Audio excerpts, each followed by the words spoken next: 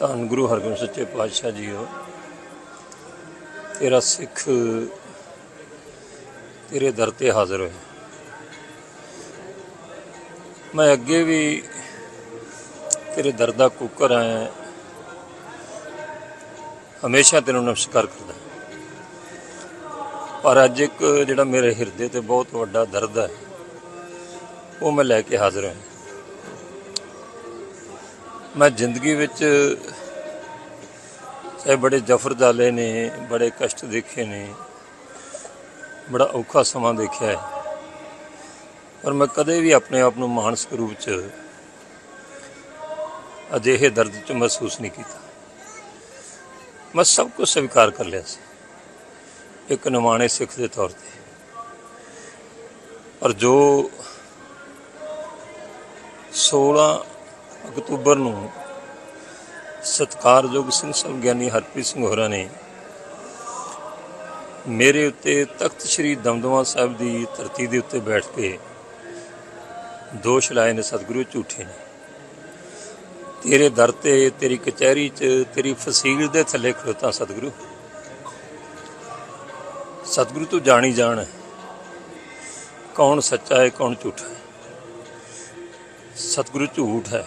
ਪਾਪ ਹੈ, ਕੌਮ ਨਾਲ ਧੋਖਾ ਹੈ। ਤੇਰੇ ਸਿਧਾਂਤ ਤੋਂ ਬਹੁਤ ਦੂਰ ਦੀਆਂ ਗੱਲਾਂ ਕੀਤੀਆਂ ਗਈਆਂ ਨੇ। ਤੇਰੇ ਸਿਧਾਂਤ ਨੂੰ ਧੱਕਾ ਲਾਇਆ ਗਿਆ। ਮੇਰੇ ਵਰਗੇ ਇੱਕ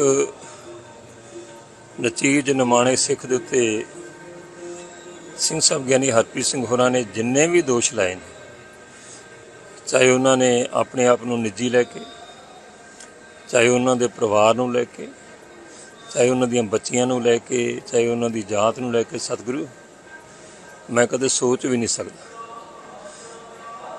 ਬਹੁਤ ਵੱਡਾ ਬੋਝ ਹੈ ਮੇਰੇ ਤੇ ਸਤਿਗੁਰੂ। ਮੈਂ ਤੇਰੇ ਚਰਨਾਂ 'ਚ ਹਾਜ਼ਰ ਹਾਂ, ਸੱਚ ਝੂਠ ਦਾ ਨਤਾਰਾ ਤੂੰ ਕਰਨਾ। ਪਰ ਮੇਰੀ ਇੰਨੀ ਕੁ ਬੇਨਤੀ ਹੈ ਸਤਿਗੁਰੂ, ਮੈਂ ਤਾਂ ਤੇਰੀ ਕਚਹਿਰੀ 'ਚ ਹਾਜ਼ਰ ਹੋ ਗਿਆ, ਤੇਰੀ ਫਸੀਲ ਤੇ ਹਾਜ਼ਰ ਹੋ ਗਿਆ, ਮੈਂ ਆਪਣਾ ਦਰਦ ਰੱਖਦਾ। ਨਾਲ ਹੀ ਮੈਂ ਬੇਨਤੀ ਕਰੂੰਗਾ ਸਤਿਕਾਰਯੋਗ ਸਿੰਘ ਸਾਹਿਬ ਗਿਆਨੀ ਹਰਪ੍ਰੀਤ ਸਿੰਘ ਹੋਰਾਂ ਨੂੰ ਕਿ ਤੁਸੀਂ ਕੌਮ ਦੇ ਵਿੱਚ ਅਜਿਹੇ ਸ਼ਬਦਾਂ ਦੀ ਵਰਤੋਂ ਕਰਕੇ ਕੀ ਸਾਬਤ ਕਰਨਾ ਚਾਹੁੰਦੇ ਸੀ ਝੂਠ ਬੋਲ ਕੇ? ਹਾਂ, ਜੇ ਤੁਹਾਡੇ ਕੋਲ ਕਿਸੇ ਵੀ ਤਰ੍ਹਾਂ ਦਾ ਕੋਈ ਸਬੂਤ ਹੈ ਕਿ ਵਿਰਸਾ ਸਿੰਘ ਉਲਟੋਹਾ ਨੇ ਤੁਹਾਡੇ ਬਾਰੇ ਨਿੱਜੀ ਤੌਰ ਤੇ ਤੁਹਾਡੀ ਸ਼ਾਨ ਦੇ ਖਿਲਾਫ ਤੁਹਾਡੇ ਤੇ ਕੋਈ ਹਮਲਾ ਕੀਤਾ ਹੈ, ਤੁਹਾਡੇ ਪਰਿਵਾਰ ਬਾਰੇ ਕੋਈ ਗੱਲ ਕੀਤੀ ਹੈ, ਤੁਹਾਡੀਆਂ ਬੱਚੀਆਂ ਜਿਹੜੀਆਂ ਮੇਰੀਆਂ ਬੱਚੀਆਂ ਨੇ, ਤੁਹਾਡਾ ਪਰਿਵਾਰ ਜਿਹੜਾ ਮੇਰਾ ਪਰਿਵਾਰ ਹੈ ਪਰ ਮੈਂ ਤਾਂ ਜਾਤ ਪਾਤ ਨੂੰ ਮੰਨਣ ਵਾਲਾ ਹੀ ਨਹੀਂ।